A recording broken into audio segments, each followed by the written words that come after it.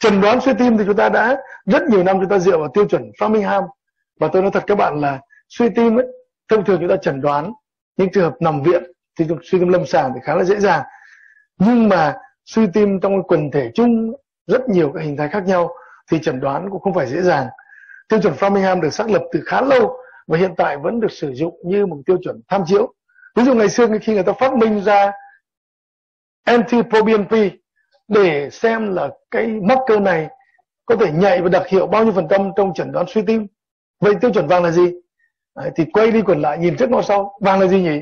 Cuối cùng chính tiêu chuẩn vàng chính là tiêu chuẩn lâm sàng của suy tim mà các nhà lâm sàng có kinh nghiệm người ta dựa vào tiêu chuẩn Framingham hai ông bác sĩ độc lập khám một bệnh nhân dựa trên những xét nghiệm sẵn có và kết luận là bệnh nhân này suy tim cộng và suy tim trừ và căn cứ vào tiêu chuẩn vàng đó người ta mới tính được độ nhạy độ hiệu của những xét nghiệm kiểu như NT-proBNP Qua thế rằng là gì? Tiêu chuẩn về lâm sàng vẫn là tiêu chuẩn tối thượng cuối cùng cho tới tận ngày hôm nay mặc dù chúng ta có rất nhiều biện pháp để chẩn đoán. Tuy nhiên là gì? Một bệnh nhân suy tim ờ, DD giãn ngoác ra EF giảm thấp thì đương nhiên là cũng là tiêu chuẩn nếu kèm theo các dấu hiệu lâm sàng nữa thì không bàn cãi nhiều nữa.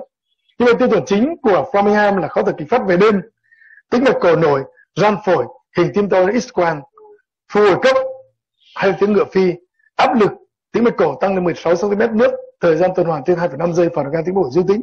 Đấy. Thì hôm trước các bạn nào bảo là cái thời gian trên 25 giây thế nào? Bọn tôi cũng ít dùng cái chỉ số này. Đấy, thực sự. Cho nên là hôm nay viết thế này thôi chứ còn tôi cũng chưa biết là nó tính kiểu gì đây. Phù, phù phổi sung huyết đấy. Rồi cân nặng giảm khi đáp ứng lợi tiểu đấy. Tuần hoàn này chính là thực ra đây là một vòng tuần hoàn gắn người ta phải dùng cái móc cơ đấy, gắn vào một cái hồng cầu xong nó đi hết một cái vòng tuần hoàn thì biết bao nhiêu thời gian. Trung bình từ 25 đến 27 giây. Đấy. Và nếu mà uh, dài hơn 25 giây thì bệnh nhân có dấu hiệu của chạy tuần hoàn. Tiêu chuẩn phụ như phù chân. Phù chân là phụ nó rất là nhạy trong suy tim nhưng nó là tiêu chuẩn phụ vì sao? Nó không đặc hiệu bởi vì là suy thận nó cũng phù à, suy gan nó cũng phù suy dinh dưỡng nó cũng phù. Đấy. Rồi truyền nhiều dịch quá các cụ cao tuổi cũng phù. Đấy. Cho nên là uh, làm tiêu chuẩn phụ. Ho về đêm dung tích sống giảm ờ, liên quan tới ứ nước ở phổi và tần số tim nhanh, vân vân. Và nếu chúng ta thấy là có hai tiêu chuẩn chính hoặc một tiêu chuẩn chính cộng hai tiêu chuẩn phụ, thì chúng ta chẩn đoán lâm sàng là suy tim. Trong thực tế, trong suốt nhiều năm, chúng ta cũng biết có tiêu chuẩn Framingham, nhưng nó gì một bóng mờ mờ trong thực hành chúng ta. Chúng ta ít khi xòe ra, áp dụng thế này thế kia. Vì phần lớn các bệnh nhân suy tim vào gặp chúng ta là những bệnh nhân suy tim lâm sàng với các triệu chứng lâm sàng và đặc biệt là xuyên tim khá rõ ràng trong 24 giờ đầu tiên đó. nhưng nếu các bạn đặt trong hoàn cảnh khác mà xem ở tại một cái khoa khám cấp cứu đấy, hoặc là phòng khám thông thường hoặc là một cái thật điều tra tại cộng đồng thì nhiều khi chúng ta lại phải áp dụng tiêu chuẩn Framingham tiêu chuẩn 2017 của hội tim mạch Việt Nam và hội tim mạch châu Âu năm 2016 về chuẩn đoán suy tim thì bệnh nhân suy tim đấy thì cũng là hỏi tiền sử có bệnh động mạch vành không có nhiều máu cơ tim không có tiền sử stent không có tăng huyết áp không có dùng lợi tiểu không? Khó thở phải ngồi hay cơn khó thở kịch phát về đêm hay không? Đấy, chúng ta sẽ xòe cái bảng ra hỏi bệnh nhân. Đấy. Bác ngày xưa có bệnh gì tim mạch không? Là tôi đặt stent ở mạch vành. Giờ khó thở vào viện. Nghĩ tôi suy tim là nhiều đấy. Đấy. Đấy, hiện tại bác dùng thuốc gì? Xòe trong bao thuốc ra thấy một viên furosemide hay một spiromide đấy đang uống thuốc chẳng hạn thì đó là cái điểm gợi chúng ta suy tim. Chúng ta sẽ bước sang khám thực tổn nghe phổi có ran ấm tiếng thổi ở tim rồi thấy thực tổn có dấu hiệu của phì đại tim rõ, mỏng tim lệch trái tĩnh mạch cổ nổi, phù chân, điện tâm đồ có bất cứ bất thường nào. Phì đại thất trái hoặc phải, phì đại nhĩ trái hoặc phải, các rối loạn nhịp vân vân. Nếu bệnh nhân không có yếu tố nào hết trong tất cả yếu tố này, chúng ta tạm thời loại trừ suy tim, loại trừ suy tim. Nghĩ bệnh khác cái đã. Còn nếu bệnh nhân có ít nhất một yếu tố, ít nhất một yếu tố, thì khuyến cáo của tim mạch châu Âu là gì ạ? Trong trường hợp cần có kết quả ngay chúng ta thể làm xét nghiệm BNP có thể là NT-proBNP hoặc là BNP NT-proBNP trên 125 picogram trên ml nó tương ứng với là trên 10 14 nhỉ? 14 picomol trên lít. Đúng là cái xét nghiệm trong bệnh viện mạch mai chúng ta đấy. Nếu mà NT-proBNP tăng cộng với các cái dấu hiệu lâm sàng và và điện tâm đồ gợi ý hay là thực thể gợi ý thì chúng ta sẽ gửi bệnh nhân làm siêu tim để tiếp tục chẩn đoán. Đấy. còn nếu ít có khả năng suy tim, thì có thể chúng ta sẽ loại trừ. Trong vài trường hợp chúng ta có thể cân nhắc làm siêu tim nếu chúng ta muốn. Đấy. còn nếu siêu tim nữa có các bằng chứng của suy thất trái, giảm EF tâm thu, tâm trương đấy, thì chúng ta chẩn đoán xác định là suy tim, tìm nguyên nhân và điều trị. Quy trình chẩn đoán là như vậy. Như vậy thì quy trình này nó cũng dựa vào cái sự khởi xướng của cái phần tiêu chuẩn Framingham trước đó. Sau đó có thêm có vai trò của marker. Trong trường hợp này là peptide à, lợi niệu Bây giờ mức độ suy tim chúng ta biết theo NIHA là thông thường đúng không ạ? NIHA thông thường. Mặc dù cái phân độ này cũng rất là thô sơ nhưng sau bao nhiêu năm nó vẫn tiếp tục tồn tại. Và bây giờ suy tim gì nghiên cứu gì cũng cần phải NIHA hết đấy. Và chúng ta vẫn tiếp tục áp dụng NIHA chỉ có điều là suy tim ở phân độ NIHA nó phù hợp hơn với các trường hợp suy tim trái. Suy tim trái suy tim trái. Còn những trường hợp suy tim phải nhiều lúc thì nó cũng có thể hơi khác một chút nhưng chúng ta cũng ngày càng gặp ít hơn các trường hợp suy tim phải. Do hẹp hai lá do tâm phế mạn chủ yếu cái mô hình suy tim chúng ta cũng dần dần giống như là các nước phương tây các nước phát triển. Và qua thế rằng là Nia một có nghĩa là à, bệnh nhân bảo là trước đây là tôi chơi thể thao chạy 100 mét đúng thoải mái gần đây là không chạy nữa là chỉ Nia một ví dụ như vậy. Là tôi ờ, trước đây vẫn chạy thể dục được buổi sáng dạo này sức khỏe mệt không chạy nữa chính Nia hai.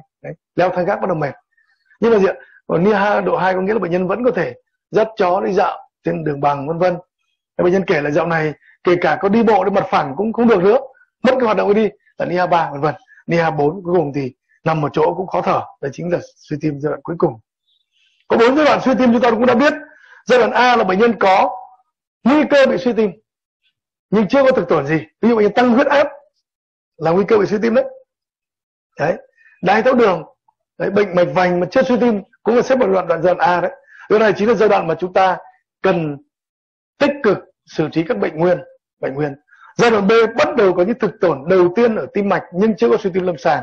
Ví dụ bệnh nhân có thể có phi đại thất trái trên điện tâm đồ bệnh có thể hở hai lá mức độ vừa. Đấy vân vân.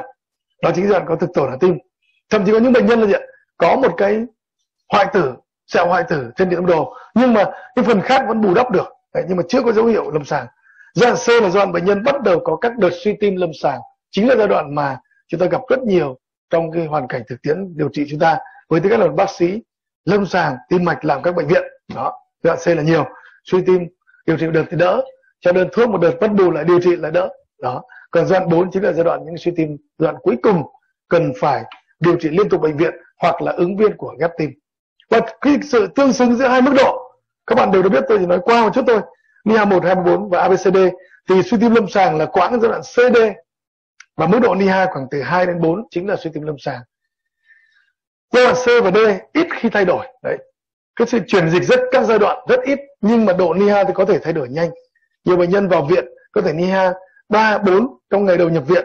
Ngày hôm sau điều trị thuốc men lợi tiểu vân vân bệnh nhân đáp ứng tốt thì có thể Nia sẽ dịch về hai thậm chí có thể về tận một. Nhưng các giai đoạn ABCD thì ít có khả năng thay đổi trong cái thời gian ngắn. Nhưng có những bệnh nhân họ cũng thay đổi được đấy, đúng không ạ? Có những bệnh nhân 5 đến 10 năm trước, suy tim liên miên, đúng không ạ? Phải nằm viện vì đơn giản là hẹp khít, hở nhiều van hai lá. Đấy, sau khi phẫu thuật thay tim, van tim bây giờ người ta ổn, người ta trở lại hoạt động bình thường.